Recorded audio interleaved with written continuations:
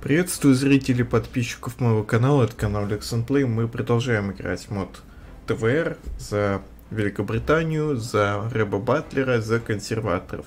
Все как обычно. И в прошлой серии мы полностью прокачали ветку первого срока консерваторов и назначили новые выборы. Уже началась избирательная кампания. Эм, в прошлых сериях также мы экономику полностью модернизировали, перешли на современную экономику, на потребительскую экономику. Также восстановили гражданскую промышленность, расширили производственную базу, расширили экспортные возможности. Сейчас укрепляем военную промышленность. Вот. Вот такая вот ситуация. А, по поводу Германии я сейчас читами немножко посмотрел, что там у нее. Короче, 100 дивизий у Германии сейчас. 100 дивизий, 2000 где-то самолетов, у нас 4000 мы происходим. Ну да, флот, конечно, тоже не маленький, но ничего. Мы совладаем, я думаю, с ними, потому что у нас еще флот американский будет. Так что мы в, пол, в принципе вынесем Германию. По флоту по авиации точно. По дивизиям, в принципе, тоже. Потому что, как бы, у нас дивизий у всего Альянса намного больше. Вот. Вот, но, в принципе, мы готовимся к войне с Германией, которая может начаться. Самый хороший момент вмешательства был бы тогда, когда Германия пошла бы на Советский Союз вновь. Вот это было бы хорошо. Но я не знаю, пойдет ли он вообще Шпеер Советский Союз, есть ли у него такая возможность вообще. Так. Может, у него вообще такой возможности нет, он просто будет сидеть, дальше проводить реформы. Он вышел, кстати, в малые реформы. Статус-кво все-таки он взял. Так что вот так. Не знаю, что вообще будет. Тут он комиссариат, например, не может освободить. И тратит многие войска много людских ресурсов на гарнизоны. Ну ладно, в этой серии мы проведем новые выборы, посмотрим, будет ли новая веточка у консерваторов. Ну и также будем прокачивать, естественно, экономику, торговлю вот эту. И уже надо, в принципе, заняться армией, взять британскую армию, например. Сюда уже выходить. Флот уж в самом конце будем трогать, вот армию Хорошо бы армию прокачать и авиацию, и тогда будет хорошо. Вот, все, желаю вам приятного просмотра. Также, конечно же, лейбористы начинают свою кампанию, и мы будем бороться против них. Кстати, у них, кстати, сейчас 307 мест, но для большинства необходимо 313 мест. Пока, слушай, они даже побеждают, плохо. Нам надо как-то с ними будет бороться. Так, лейбористы атакуют нашу репутацию. Ну, тут я читать вот это все зачитывать не буду, время тратить, поэтому, кому интересно, почитайте на паузе. Так, промечайте значение. Так, ну давай сохранимся, но попробуем отражать их атаки. Все-таки они припоминают нам только прошлое, но в этом ивенте но не говорят о том, что мы сделали уже.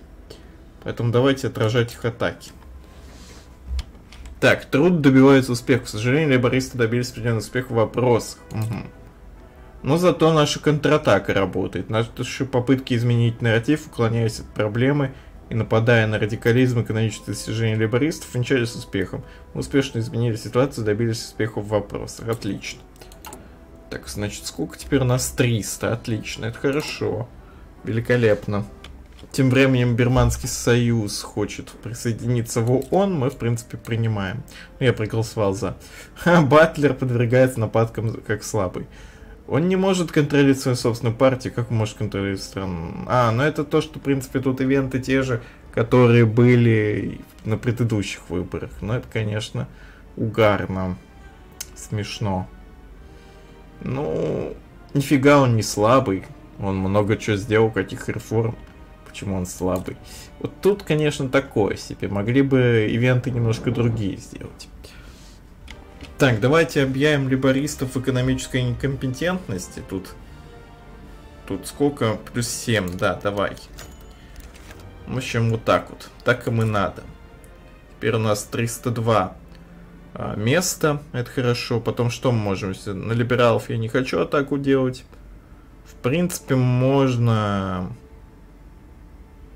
продавить, продвигать консервативные ценности. 307 уже мест. Атака на разобщенность трудящихся.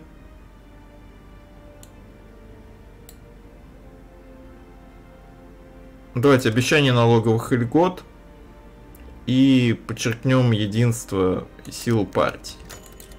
Все, 318. Так на разобщенность давай атаку. И заключительную, в принципе, кампанию проведем. Все, 332 места. Атаку на либералов проводить пока мы не будем. Смысла в этом я не вижу. Так, скандал с депутатом, вот это такое себе. Вот давайте попробуем это скрыть. Попробуем это скрыть. Ага, ну финальная либорийская кампания. В общем, они последний рывок какой-то сделали, но им это не поможет. Потому что у нас все, мы набрали больше всего мест. Так что они не выиграют. Так, а вот и всеобщие выборы завершаются. Вот результаты. Ну и победа консерваторов. Поступлением голосов становится ясно, что правоцентристская консервативная партия получила большинство мест. Теперь она приступит к формированию нового правительства, изложено в своей повестке дня. Изложение своей повестки дня. Окей, новая глава Британии. Ну, как бы, это переизбрание, на самом деле. В общем, либористы, либералы становятся частью оппозиции. В общем, вот так. Новая Британия. Второе правительство Батлера. И фокусы что у нас появляются, нет? А, есть, да. Твердая власть.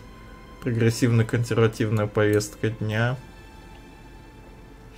Но мы тут уже так быстро бежать сюда не будем специально. Быстренько. Мы, короче, после вот этого фокуса на военку пойдем сюда, твердую власть возьмем, а потом пойдем все-таки в британскую армию тоже. Твердая власть. Батлер уже отразил вызов внутри консервативной партии со стороны своих оппонентов. Но когда его позиция слабли, он назначил новый выбор. Это купилось, предоставив Батлеру еще одну солидную победу и мандат на управление. Теперь, когда с конкурентами с его собственной партией и других партий покончено, он прочно у власти. Возможно, впервые может начать э, начаться остальная часть его повестки дня. Окей. Так, кстати, давайте посмотрим э, наш парламент. В общем, 332 места у нас. В общем, да. В общем, правительство большинства. Вот так вот. Либористская партия 274 места всего лишь. Либералы 19 набрали в этот раз. Твердая власть. Батлер уже, в общем, отразил вызов внутри консервативной партии, победил оппонентов – Заговор волшебного круга не смог собрать голоса, чтобы отстранить его от власти. Однако, когда его позиция слабая из-за близкого разрыва, он рискнул назначить новые выборы, победил на них. Эта авантюра к облегчению Батлера его сторонников окупилась.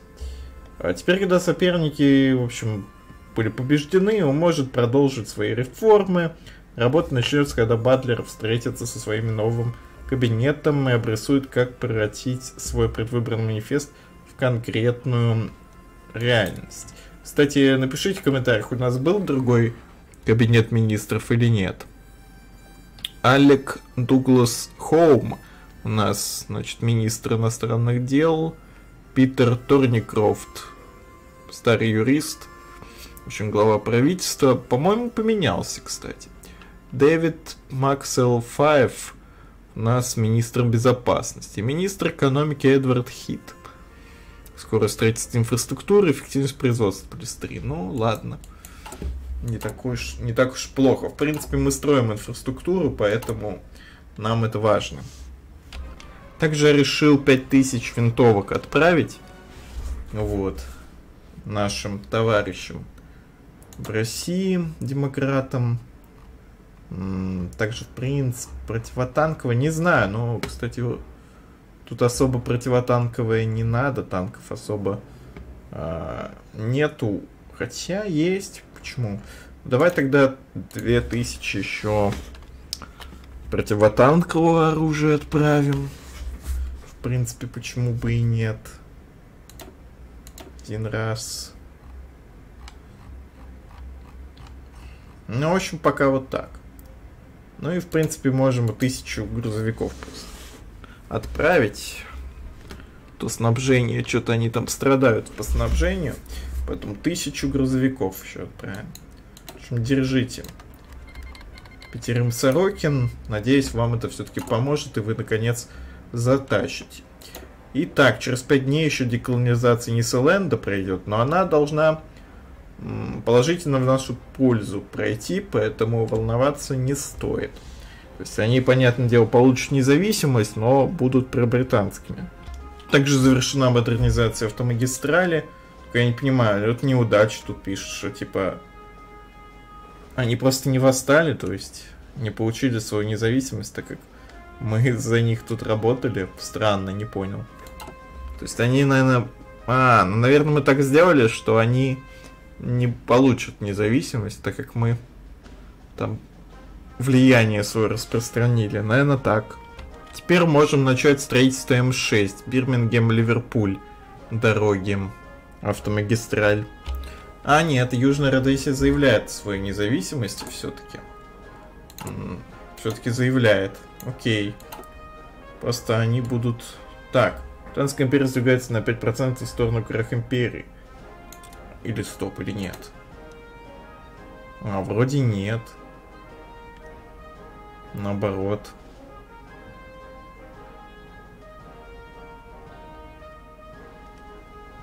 Да, вселение безопасности в Северной Родезии.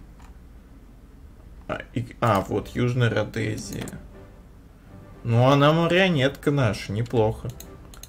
Это не так уж и плохо. Так, британская армия, в общем, прочитайте на паузе, кому интересно. Тут, в принципе, рассказывается просто об истории армии. Сейчас давайте возьмем дальше экономику. А, стоп. Один следующих фокусов должен выполнить. То есть мы сюда пока выйти не можем. Вот эти приоритеты торговли США наставить на преференции Содружества. Угу. Сюда, чтобы мы вышли, надо все это делать. То есть сюда наставить на преференции Содружества нам не нужно. А, то есть, подожди, отдайте... Тор... То есть, нет, можно все-таки настаивать на преференции Содружества, либо отдайте прийти торговлю США. Понятно, то есть это можно. Необходимо все из этого. Ну, то есть, короче, либо это, либо это.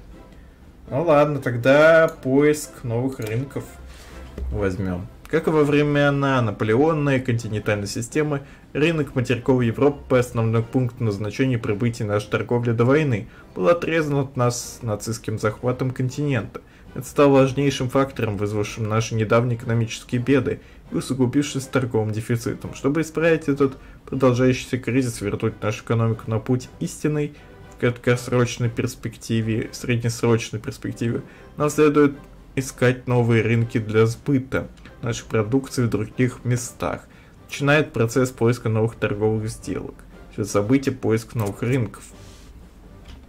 Поиск новых рынков. Как и во времена, так ладно, это мы читали, чтобы, короче, исправить этот продолжающийся кризис, вернуть нашу экономику на путь истинный, ну, как краткосрочной, среднесрочной перспективе, нам следует искать новые рынки. А, блин, ну, тоже то же самое, то, что мы читали.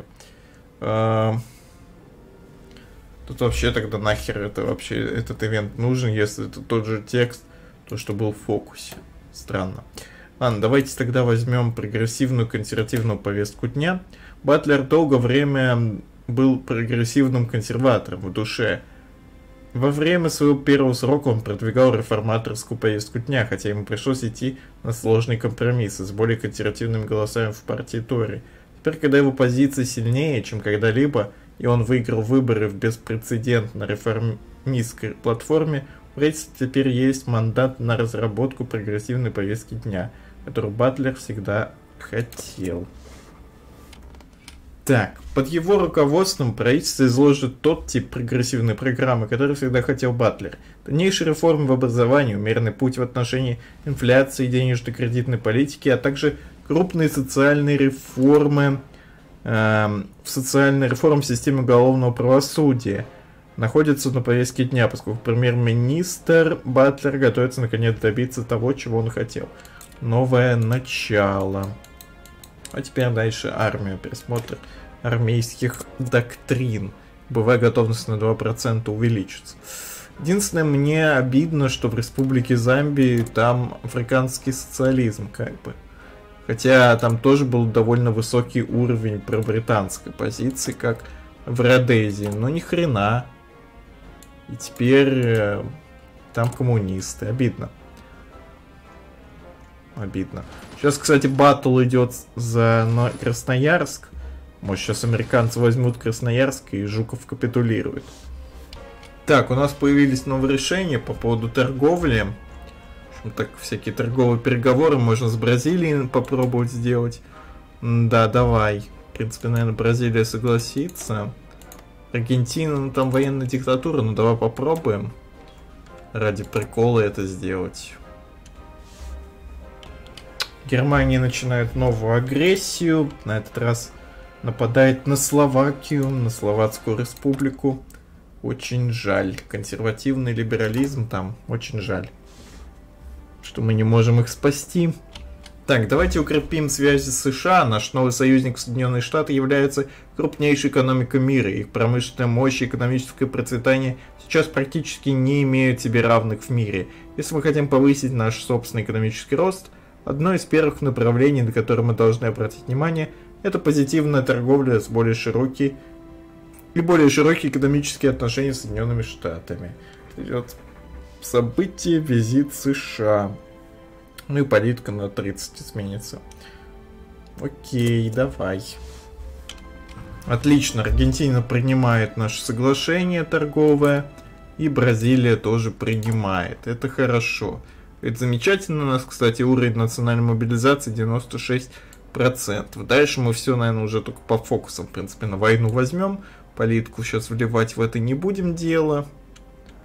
Пока вот так, короче. Замечательно, это очень хорошо. Торговля у нас тоже улучшается. Визит в США.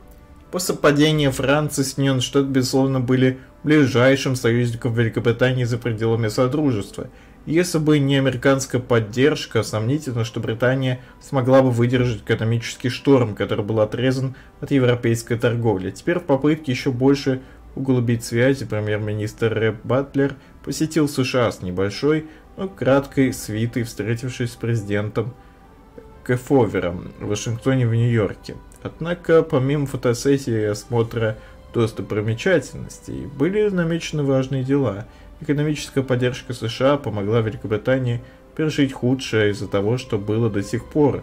Но в попытке добиться надлежащего экономического восстановления Великобритания предлагает политику углубления взаимовыгодных экономических связей. Дипломаты с каждой стороны Атлантики неофициально обсудили планы будущих экономических отношений за закрытыми дверями, прежде чем британская делегация отправилась домой. Англо-американские связи важны для обеих сторон. Это точно. И, к сожалению, у нас задержка строительства трассы М6, но мы примем задержки. Так, дальше давайте, наверное, что тут лучше взять? Ну, давайте возьмем под контроль денежную кредитную политику. По мере того, как мы движемся в борьбе с инфляцией мы должны взять под контроль денежно-кредитную политику. Монетаристов успешно обуздали, они были правы в некотором отношении относительно необходимости борьбы с инфляцией. Должны провести переговоры с Банком Англии и провести их в соответствии с нашим экономическим видением. Южная Африка запрашивает передачу судов, ну ладно. Давай отдадим, пофигу. Что там в Бирме? Бирманский союз немножко изменился. А, ну либеральный социализм все равно остался. Интересно, интересно. Просто перевыборы, наверное, произошли. Или официальное просто название теперь поменялось. Цвет зеленый стал просто. Закончилась гражданская война. Блин, а кстати в Лаосе так и продолжается гражданка. Что-то они не могут по Тетлау победить. Давайте отправим ленд-лиз какой-нибудь им. Так, также поможем Вьетнамской республике. Да, там военная диктатура, и они про китайские, но лучше помочь им, чем коммунистам. Тут им 5000 отправим. У них тоже тут восстание здесь. Все-таки тут еще Хашимин на юге сидит, помогает вот этому фронту освобождения Вьетнама.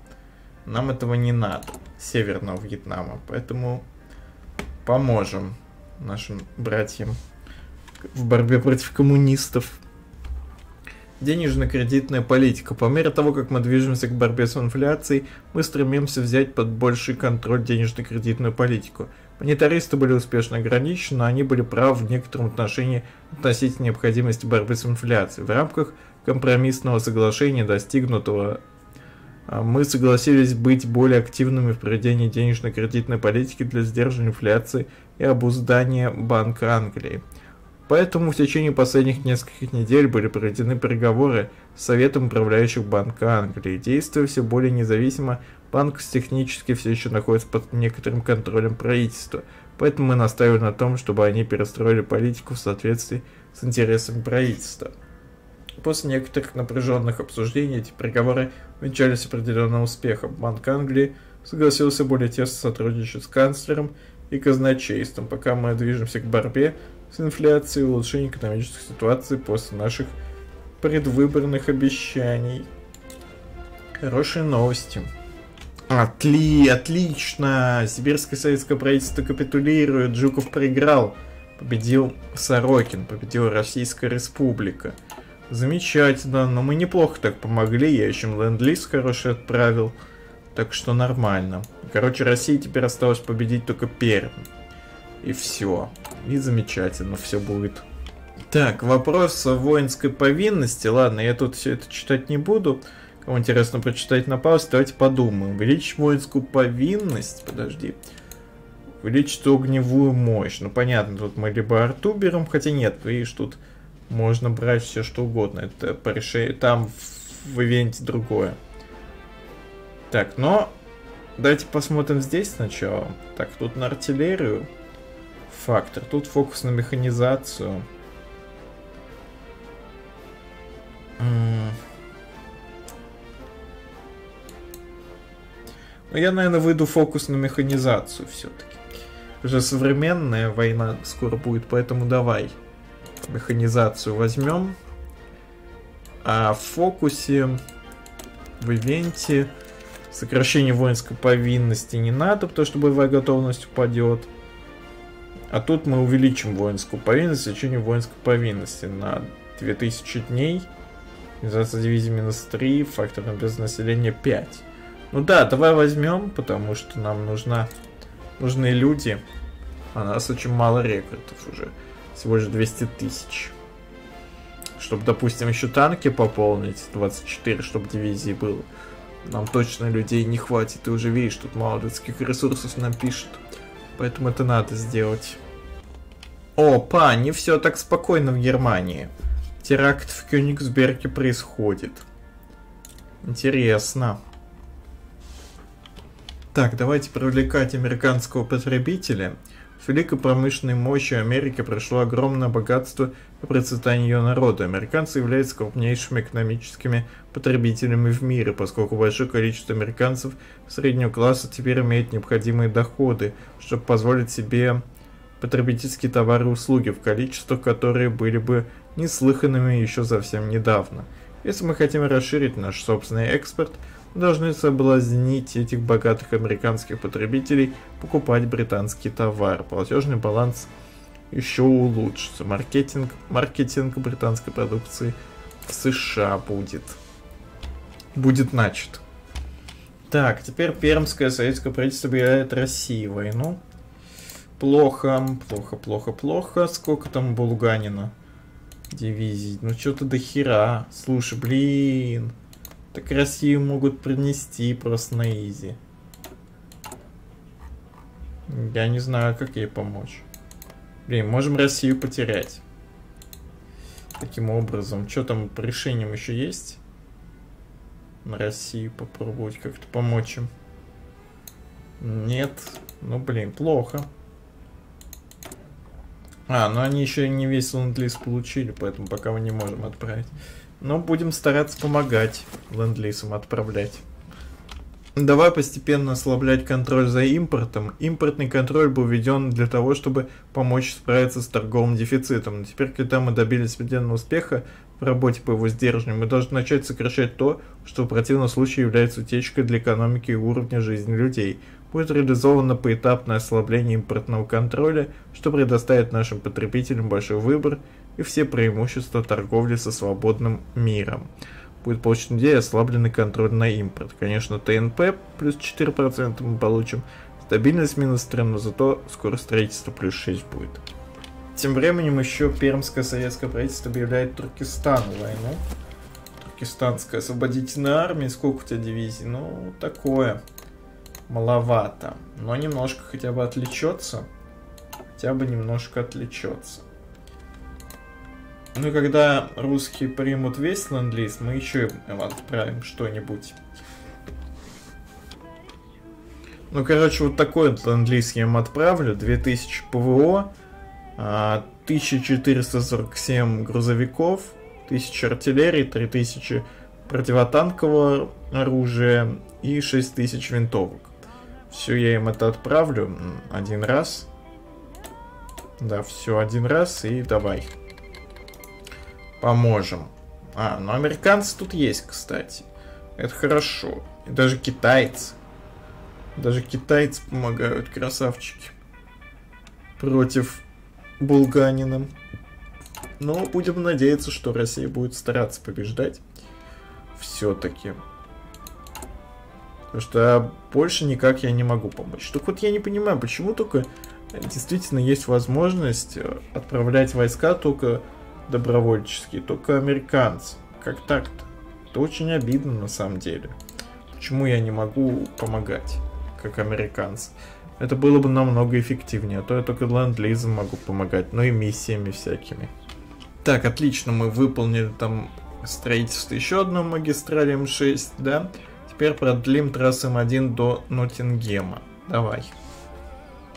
Тем временем Пермь, конечно, побеждает а, тут всех в Центральной Азии, но Россия пока вроде неплохо даже держится, неплохо даже идет в атаку. Ленд-лиз все-таки помогает. Так, теперь давайте возьмем торговые связи с Содружеством. Самых пиковых дней империи страны, которые мы сейчас называем Содружеством, были нашими ближайшими партнерами в мире, которые все больше разделяется и вызывает беспокойство, поскольку мы стремимся восстановить нашу экономику и строить и расширять торговые связи по всему миру, несомненно, одним из первых направлений, на которые следует обратить внимание, является наш партнер по содружеству. Все события связи с содружеством. Сколько по времени? Но еще вот как раз этот фокус докачаем и закончим. Эх, все-таки эскалация во Вьетнаме началась. Война, которая решит судьбу Вьетнама. Короче, понятно. Южный Вьетнам, ой, Северный Вьетнам и Южный. Еще, в принципе, что-то похожее то, что было в реальности. Надеюсь, мы тут сможем помочь успешно, чем когда-либо. Но пока отправлять не буду, потому что они еще не весь листы. Во-первых, приняли, что-то не хотят принимать. Забирать его полностью. Так, что вообще по решениям у нас тут? Будет ли на него решения какие-то? Мы можем поставки опять в Бирму кинуть, но пока не хочу. О, кстати, вот эту марионетку сделал. Тоже в зеленый цвет все перекрасилось. Блин, в Родезии все-таки гражданская война начинается. Ну ладно. Республика Родезия наша. Тут должна, по идее, 4. Три дивизии. Ну тут танк как бы есть получше. Тут все лишь милиция у зомбийской. Демократической республики должны победить, по идее. То, что мы, я им отправлял оружие. Так что они победят, я думаю, здесь. И все нормально должно будет быть. Так, по решениям. Что у нас еще по решениям здесь есть?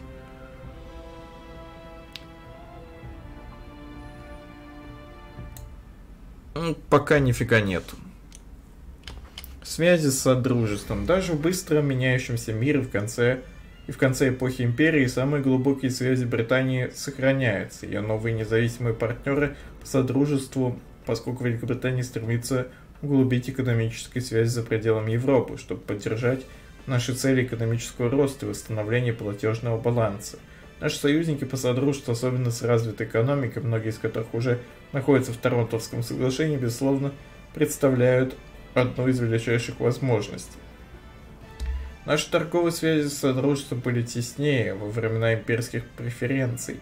Движение в сторону Европы и подъем американской экономики с тех пор разрушили эту систему. Однако, поскольку Европа была отрезана от нас на некоторое время, стоит рассмотреть более глубокий поворот обратно в сторону Содружества. Старые связи остаются важными. Ну и также давайте возьмем уже следующий фокус. Тут уже обзор процентных ставок. Поскольку мы стремимся обуздать инфляцию, мы должны работать с Банком Англии в пересмотре процентных ставок. Это возможность поработать с некоторыми из наиболее монетаристских членов нашей партии. Но мы должны избегать поспешных действий, которые могут подставить под угрозу наш экономический прогресс.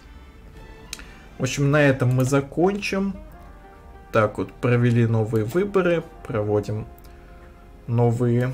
Продолжаем, точнее, проводить реформы Батлера после выборов. Вот, экономику, торговлю восстанавливаем. И армию тоже в целом. Тоже прокачиваем. Э, помогаем тут России. Помогли в одной войне против Жукова, да, сибирского советского правительства. Теперь помогаем России против пермского советского правительства тут побеждать. Вот. Ну и деколонизация продолжается. Продолжается. Не знаю, насколько все это успешно у нас получается. Мне кажется, не очень. Немножко, как-то, мне кажется, я не очень понимаю вот эту систему баланса сил. Что как бы в чем смысл-то? Просто чтобы не допустить крах империи. Типа деколонизация, чтобы проходила такая более мирная, постепенная. Так вот, что ли. И что будет, если как довести до того, чтобы просто было единство, содружество? Или это просто только ради бонусов сюда надо идти? Потому что здесь мы просто дебафы получим. Ну, понятно, нельзя допускать дебафов. Я как понимаю, но единство содружества. То есть империю все равно сохранить нельзя, это просто содружество. Чтобы все бывшие колонии с нами дружили. В этом, наверное, смысл. Напишите в комментариях, кто понимает смысл этой механики, я ее не до конца понял. В общем, на этом все. Подписывайтесь на канал, обязательно комментируйте, ставьте лайки, пишите комментарии, 4 слов помогает продвижению видео. И также подписывайтесь на телеграм-канал и на Twitch канал по ссылкам в описании. И знайте, что самое интересное еще впереди, и интересное точно будет. Всем удачи и пока-пока-пока.